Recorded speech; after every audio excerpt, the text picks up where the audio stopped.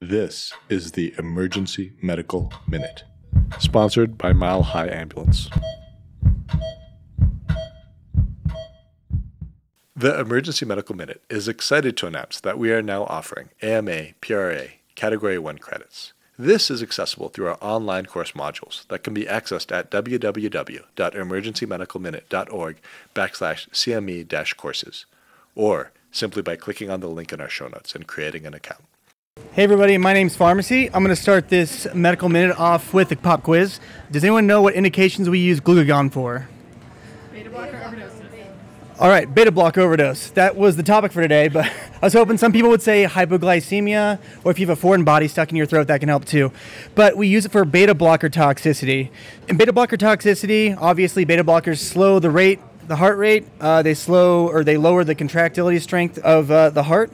Now, when we use glucagon, it bypasses that blockade. And some of you may be thinking, first line for bradycardia, you defer to ACLS. You're thinking atropine, epi, dopamine, but it's shown in toxicity studies that glucagon is actually superior when you're using it specifically for beta blocker reversal or beta blocker associated bradycardia. Um, so in toxicity, we actually use pretty large doses. In hypoglycemia, we use one milligram usually um, if we don't have IV access for giving dextrose. But in toxicity for beta blocker overdose, we give doses as high as 5 to 10 milligrams. To add to the complexity, patients that have heart failure, severe heart failure, it decreases the efficacy of glucagon. Now, most of our patients that have heart failure happen to be on a beta blocker. So, if you give a low dose of one milligram, two milligrams, and you aren't seeing an improvement in their heart rate from beta blocker toxicity, it may just mean that you need to increase the dose.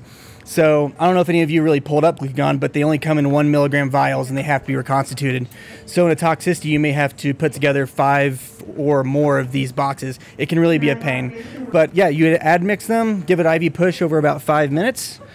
Yeah, that's uh, pretty much everything they had to say. So key points. Glucagon for beta blocker toxicity, big doses up to 10 milligrams. Sometimes you have to start an infusion afterwards.